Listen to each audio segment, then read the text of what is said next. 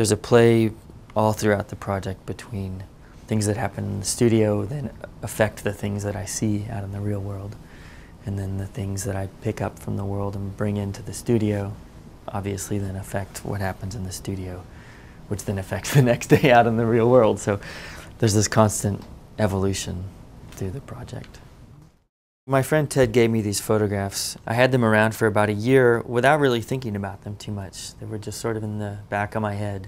I definitely didn't think of them as a project at that point, but they slowly started to uh, grow in my subconscious. And I found a lot of relationships between my pictures and these mushroom pictures. Silhouettes, shadows, optical illusions, object as fetish, the idea of collections. So we spent about a year putting this book together, which is a mixture of the found photographs of mushrooms and my own photographs and a text that I wrote that sort of links the two elements.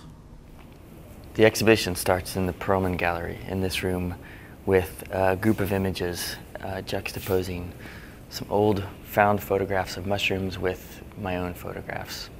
The mushrooms then start to leave this gallery and, and move around the museum. And they sort of start to grow in other galleries in the museum. Every image in the book is numbered 1 to 110. And then as we started uh, the installations, every new item to the collection was also assigned a number. The number relates to the overall project of the mushroom collection, and each of these items has a place within that project.